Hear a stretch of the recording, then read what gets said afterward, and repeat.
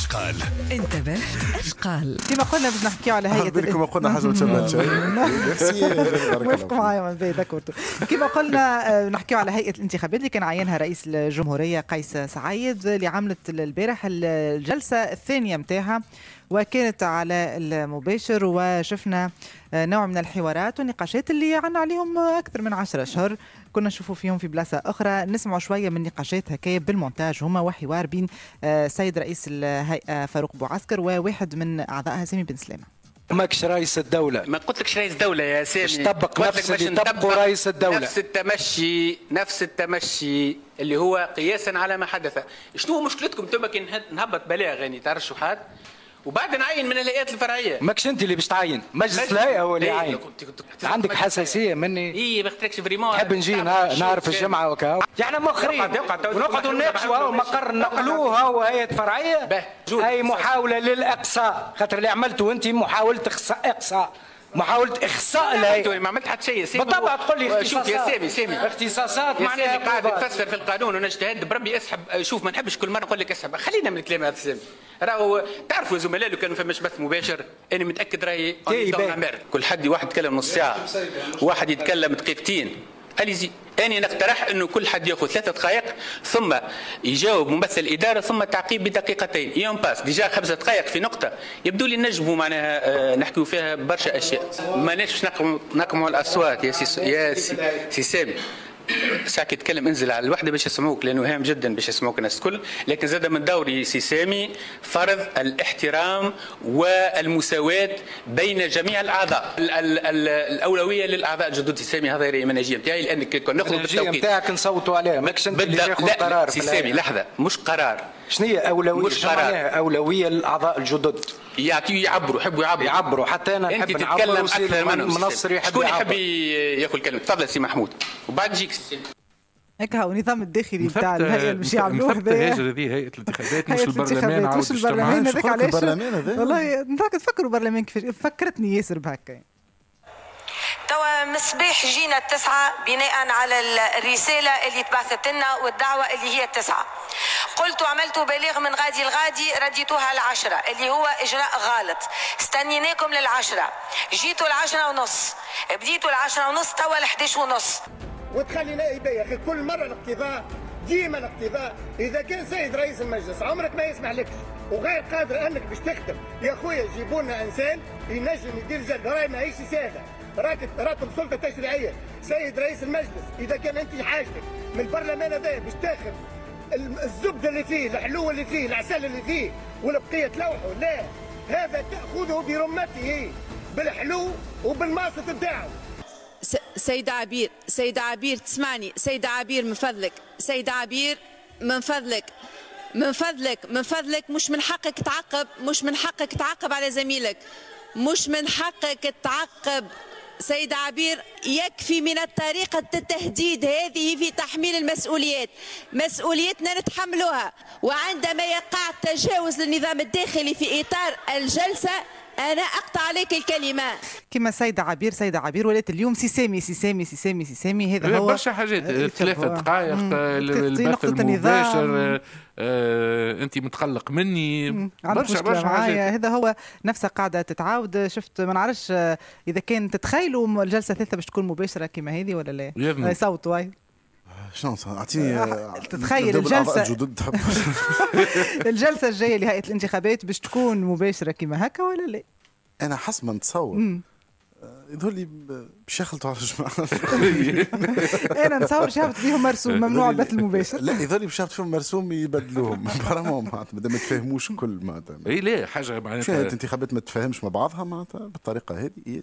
مازالوا راهو اجتماعهم الثاني. ما, عندهم جماعتين من اللي تعينوا كيف كيف راهو معناتها الصورة اللي خرجت؟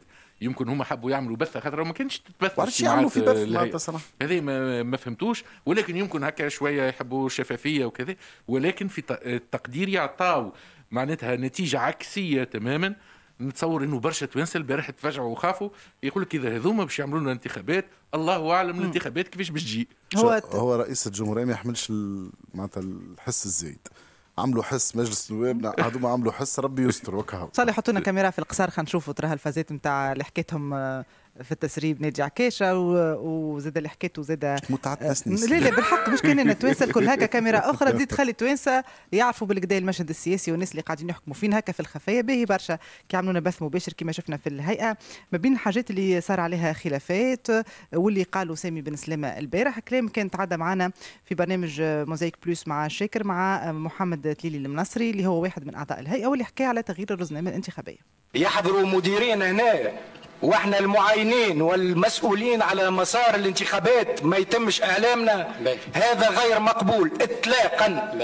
وأنا هاو نحب نقول بحكم تجربتي في الانتخابات الإدارة دورها أنها توفر جميع الوثائق والمعطيات والمعلومات لجميع أعضاء الهيئة باش ينجموا يمارسوا مهامهم في كنف الحياد والاستقلالية والنجاعة. ما تجمش أنا عضو هيئة نجي حتى السبت ولا حد معناها من اللي جينا ما نلقى حتى إمكانية باش نخدم خدمتي. ما نلقى حتى موظف ينج- ينجم يعطيني وثيقة. يقولوا لي امشي للسيد المدير التنفيذي ولا للسيد رئيس الهيئة. عندنا تعليمات ما نعطيه حتى شيء. جايين نعملوا هنا. جايين إحنا باش نسلموا الهيئة للاداره لا. مع احترامي للاداره الإدارة اليوم هي اللي تحكم في الهيئة. هي اللي تسير في الهيئة. هي اللي تخرج البلاغات. سم... يا أخي عندنا قداش من بلاغ آه، خرجها السادة أعضاء الهيئة. شفتوهم؟ اطلعتوا عليهم. شو معناها بلاغات؟ عندهم انعكاسات مالية. انتدابات. أنا كعضو هيئة ما عندي حتى علم. المشروع ما عطاش صلاحيات الرئيس الهيئه صحيح. لكن ما عطاوش صلاحيات شو يولي ديكتاتور. وباش يتعسف على أعضاء الهيئة ويقص عليهم الكلمة ويمنعهم من مراقبة شنو يصير في داخل الهيئة. يجيبوا لنا رزنامه عاملها شخص أجنبي. يقدموها لنا فيها عشرة أيام تسجيل وسبعين آه ألف مسجلين. يعني هذا ما صارش حتى في عهد السي المنصري. هو سي المنصري كان دخل مع شكر وحكى على إمكانية وطلب أنه تتغير الرزنامة الانتخابية. السلطة التنفيذية بصفة عامة هي اللي تقترح الاستفتاء وهي اللي آه معناها آه قانونيا هي اللي تعمل الاستفتاء لكن ما ننسوش الكل وكانوا 25 جويلية آه نعرفوا الكل هو صحيح يوم نفتخروا به كتوانسة الكل عيد الجمهورية لكن 25 جويلية ما ننسوش في نفس الوقت اللي هو صيف اللي هو عطلة اللي هو مواطني بالخارج موجودين في تونس اللي 25 جويلية المواطنين في الجنوب التونسي راهي 7 تاع الصباح راهي 50 درجة حرارة شوف التوقيت باش نخسروه ما نصوروش واحد معناها باش يخرج في نص نهار وما ساعة باش يقوم عملية التصويت.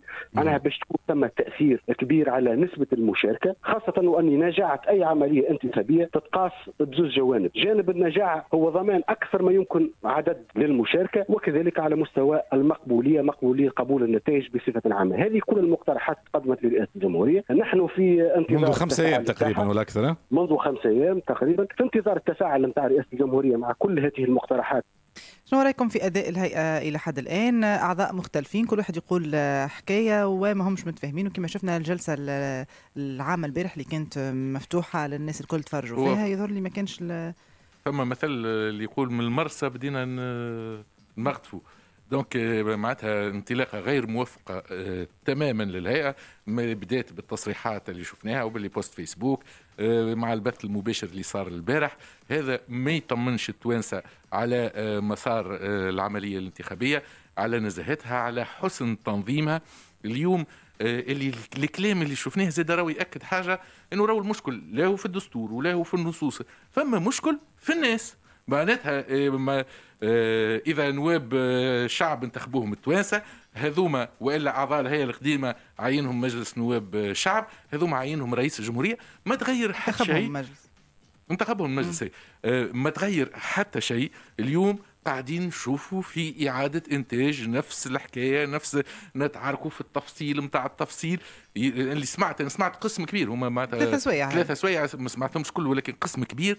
ما تحسش إنه فما رؤية هاو المسار الانتخابي هاو الحياد وين يلزم يكون هاي النزاهة كيفاش يلزم تصير هاي المبادئ العامة هاي المهمة متاعنا كيفاش نحكيو في التفاصيل والجانب الشخصي اللي ديما يطغى جانب ليجو شبيك تقحر لي شبيك تتكلم فيها هكا شبيك تعيط عليا شبيك عندك حساسية. هذا كل راهو في تقديري ما يطمنش التوانسه واضح. يعطيك الصحة هاجر بارك. الله فيك. اياد يعطيك الصحة بارك الله فيك.